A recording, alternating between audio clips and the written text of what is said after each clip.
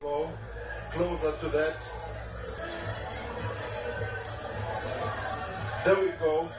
And, and, and that's that's what happened. He's That looking at our trying to punches, There doesn't know where he is. And the referee made such a great call at that moment.